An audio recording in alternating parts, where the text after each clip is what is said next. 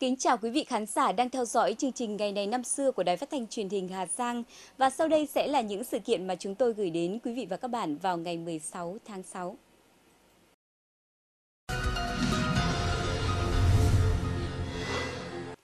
Thưa quý vị, ngày 16 tháng 6 năm 1963, nữ phi hành gia Valentina Vladimirova Tereshkova người Liên Xô đã làm nên lịch sử khi bà là người phụ nữ đầu tiên của nhân loại bay vào không gian. Và đó chính là chuyến bay vào không gian trên tàu Phương Đông 6 vào ngày này cách đây hơn 50 năm về trước. Sứ mệnh của cô gái Tereshkova 26 tuổi kéo dài gần 3 ngày, ở những độ cao khác nhau từ 180 đến 230 km, cô đã tiến hành những thí nghiệm khoa học để tìm hiểu tác động của môi trường ngoài không gian đến cơ thể con người và đây cũng là sứ mệnh duy nhất của cô. Ít ai biết rằng để chọn được người thực hiện chuyến bay lịch sử đưa Liên Xô trở thành nước đầu tiên có nữ phi công bay vào vũ trụ, Tereskova đã phải đấu lại với bốn ứng cử viên khác đều rất sáng giá, tham vọng và nhiệt tình. Với 71 giờ một mình trên quỹ đạo, 48 vòng quay trái đất. Valentina Tereshkova là nữ phi hành gia đầu tiên của nhân loại đã bay lên không gian vào ngày 16 tháng 6 năm 1963. Từ đó đến nay, không gian vũ trụ xa thẳm đã ghi dấu hiện diện của hơn 50 bóng hồng từ những quốc gia khác nhau, nhiều nhất là những người phụ nữ đến từ Mỹ. Còn những bước đi đầu tiên, những kỷ lục và khám phá mới đều là công lao của các nữ phi hành gia Xô Viết và Nga. Thưa quý vị, ngày 16 tháng 6 năm 1919, Nguyễn Tất Thành chính thức lấy tên là Nguyễn Ái Quốc, gửi đến hội nghị Versailles bản yêu sách của nhân dân Việt Nam đòi chính phủ Pháp phải thừa nhận các quyền tự do dân chủ và quyền bình đẳng của dân tộc Việt Nam. Bây giờ nhìn lại bản yêu sách 8 điểm của Chủ tịch Hồ Chí Minh gửi đến Hội nghị Versailles năm 1919, chúng ta thấy rằng tư tưởng của Bác Hồ về một chế độ tôn trọng những quyền tự do dân chủ tối thiểu của con người đã được hình thành từ rất sớm. Bản yêu sách của Nguyễn Ái Quốc gồm 8 điểm. 1. Ân xá toàn thể chính trị phạm Việt Nam. 2. Cải cách nền pháp lý Đông Dương.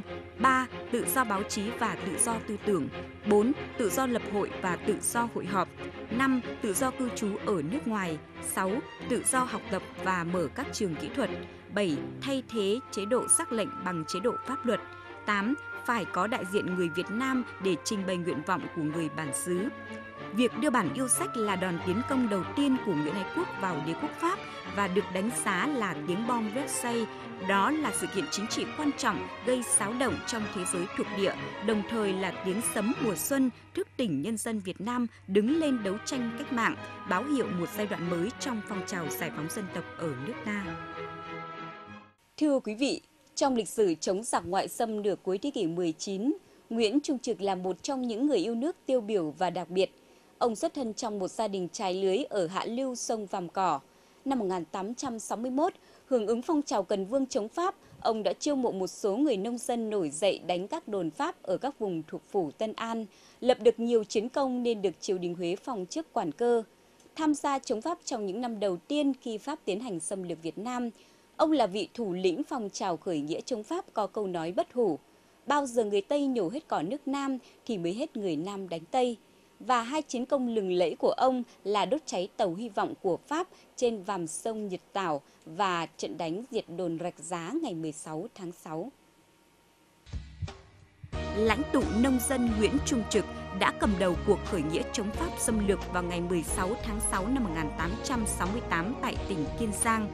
Ông chỉ huy nghĩa quân đánh úp đồn Rạch Giá, diệt chủ tỉnh, 4 sĩ quan và 67 lính địch, thu gần 100 súng các loại, Trận đánh tiêu diệt tàu hy vọng của Pháp do ông cùng nghĩa quân cải trang trên sông Vòng Cỏ cũng đã chứng tỏ một cách thông minh sự sáng tạo và hiệu quả. Cuộc khởi nghĩa được đông đảo nhân dân đồng bào Nam Bộ hưởng ứng. Song do thế của nghĩa quân và bọn Pháp chênh lệch, Nguyễn Trung Trực đã bị xa vào tay giặc. Chúng đưa ông lên Sài Gòn tra tấn và dụ dỗ không được, đã đem ông về rạch giá. Ngày 27 tháng 10 năm 1868, trước khi bị hành quyết, ông đã có một câu nói nổi tiếng, bao giờ nước Nam này hết cỏ thì mới hết người Nam đánh Tây. Nguyễn Trung Trực hy sinh để lại tấm gương anh hùng bất khuất. Để tỏ lòng biết ơn ông, hiện nay nhân dân ta đã thờ cúng ông ở nhiều nơi, trong đó tiêu biểu là đền thờ anh hùng Nguyễn Trung Trực tại Long An, đền thờ anh hùng Nguyễn Trung Trực tại Rạch Giá và đền thờ anh hùng Nguyễn Trung Trực tại Danh Dầu, Phú Quốc. Quý vị và các bạn thân mến, những thông tin vừa rồi cũng đã khép lại chương trình ngày này năm xưa hôm nay. Kính chào tạm biệt và hẹn gặp lại quý vị và các bạn vào khung giờ quen thuộc ngày mai.